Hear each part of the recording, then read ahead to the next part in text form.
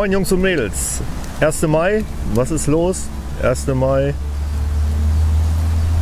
Eigentlich Hecht, richtig, aber da sind natürlich alle am Wasser. Alles dabei, ganz kleine Wobbler, 2-3 Gramm, Spoons, äh, ganz leichte, feine Routen.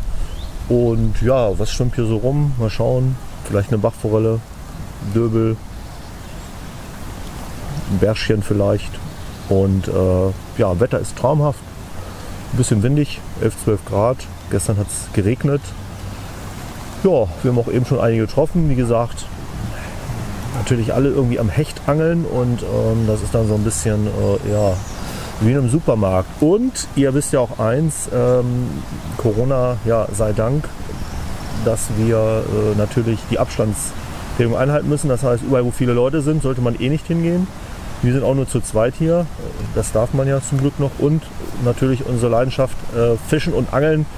Das äh, funktioniert auch noch. Also äh, Jungs und Mädels, treibt es nicht zu bunt, sonst werden hier auch noch irgendwelche Gewässer, wie es ja auch in den letzten Wochen schon der Fall war, ähm, geschlossen. Da sind die Kommunen auch nicht zimperlich. Genießt es, dass ihr in der Luft seid, vielleicht den einen oder anderen Fisch angelt und denkt dran, immer Abstand wahren. Ja, liebe Angelfreunde, nach langer, langer Zeit ein neuer Film. Wir wollten eigentlich schon vor zwei Monaten äh, einen Film machen zum Meerforellenangeln an der Ostsee, aber anderes Bundesland. Wir können da nicht reinfahren. Uns lassen sie nicht. Also, ich hoffe, dass wir das im Herbst nachholen und dass ihr, die ihr im Frühjahr schon da angeln wart, dass ihr uns Fisch da gelassen habt. Heute sind wir hier an der Oka, wie Olli schon gesagt hat, und wir angeln mit feinem Geschirr. Ich habe hier die Tycoon von Jensi mit 5 bis 22 Gramm Wurfgewicht. Feine Schnur dran geflochten mit ein bisschen Vorfach. Und wir nehmen Spinner, kleine Wobbler, ein paar kleine Gummifische haben wir dabei. Und wir hoffen, wie Olli gesagt hat, auf den klassischen Zielfisch hier an der Stelle. Barsch, Döbel, Forelle. Ja, begleitet uns bei der Tour. Bis später. Wir haben uns jetzt hier das ein steileres, äh, schwierig zu beangelndes äh, Uferteilstück genommen vom Fluss. Hier sind viele Bäume, viele Überhänge, viele Schattenbereiche. Es ist jetzt 12 Uhr. Da braucht man eigentlich nicht losgehen, aber am Fluss mit viel Schatten und äh, guter Struktur im Wasser, dann ist immer noch mal ein Fisch drin. Deshalb ist das Angeln ein bisschen schwierig, aber hoffentlich erfolgreich.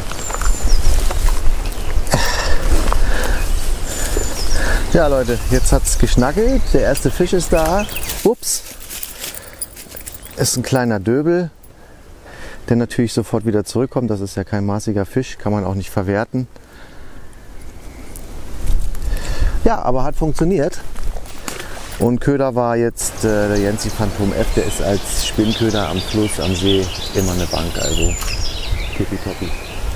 Ich angel den Teil jetzt hier vorne schon ab, weil die Fische ähm, stehen mit dem Kopf voran. Die Strömung geht in die Richtung. Und ich verscheuche sie sonst.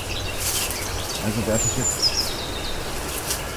den Bereich Strom ab, ab, damit die Fische, ähm, sofern sie denn da sind, eventuell auf meinen Köder gehen.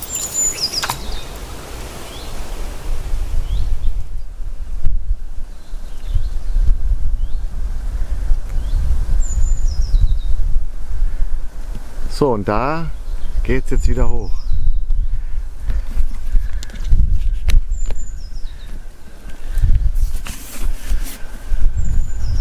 So, jetzt am Wasser ein paar Würfe gemacht, äh, ein Döbel, ein Barsch, Nachläufer gehabt, das war's. Ein Stachel im Finger jetzt. Und jetzt gehen wir die nächste Strecke an und das ist hier eben das, das ist, was so tricky ist, weil wir müssen nämlich jetzt da hoch und dann müssen wir wieder runter. Also es wird heute ein bisschen sportlich.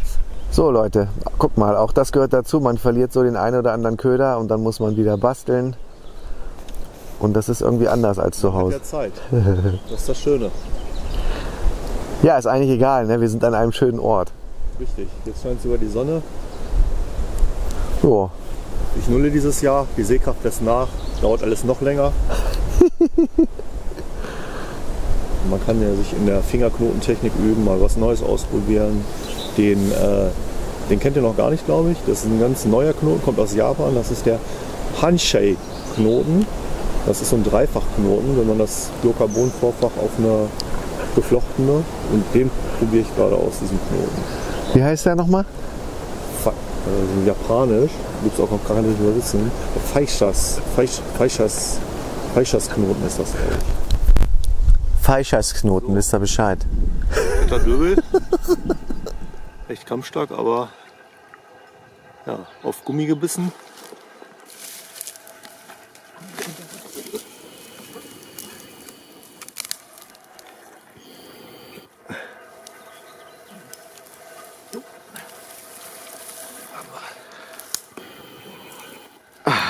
Gehakt, einer Haken. Schneller Fisch.